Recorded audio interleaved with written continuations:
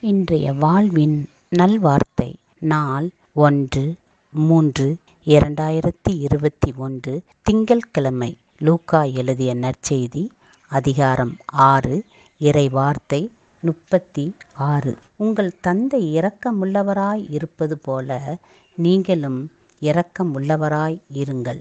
March மாதத்தின் முதல் நாளில் உள்ளோம். இறைவன் நம் ஒவ்வொருவரையும் தமது பாதுகாப்பிற்குள் வைத்து நம்மை வழிநடத்திடுவார். நம் குடும்பங்களையும் காத்திடுவார். இன்றைய நாளில் இறைவன் நமக்கு தரும் செய்தி இரக்கம் மன்னிப்பு கொடுப்பது மற்றவர்களை கண்டனம் செய்யாதிருப்பது. ஆம் அன்புக்குரியவர்களே தந்தையின் இரக்கம் நமக்கு எப்பொழுதும் கிடைத்து கொண்டுதான் இருக்கிறது.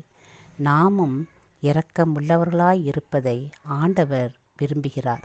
மத்திய ஐந்து ஏழில் கூட இயேசுவின் மலைப்பொழிவில் இரக்கமுடையோர் பேறு பெற்றோர்.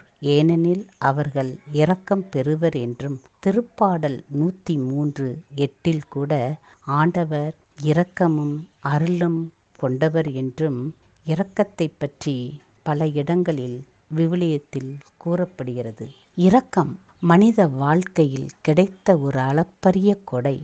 ஒருவர் தவறிழைத்தால் கூட இவருக்கு இரக்கமே இல்லையே என்று நாம் சொல்வதுண்டு. இன்றைய காலகட்டத்தில் ஈவு இரக்கத்திற்கான செயல்கள் என்று சிந்தித்து பார்த்தால் ஈவு இரக்கமற்ற செயல்கள்தான் நடைபெற்று கொண்டிருக்கிறது. இரக்கம் எங்கோ விலை போய் கொண்டிருக்கிறது. ஆம் ஆண்டவரின் இரக்கத்தை பற்றி பல இடங்களில் சொல்லப்பட்டாலும் நாம் கேட்டிருந்தாலும் பல நேரங்களில் இரக்கம் நமக்கு உண்டு.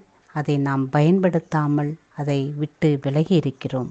ஆம் சில பேர் இரக்கம் என்பது மற்றவர்கள் பார்க்க வேண்டும் என்று இரக்க செயல்கள் செய்வது இறைவனுக்கு உகந்த காரியம் இல்லை.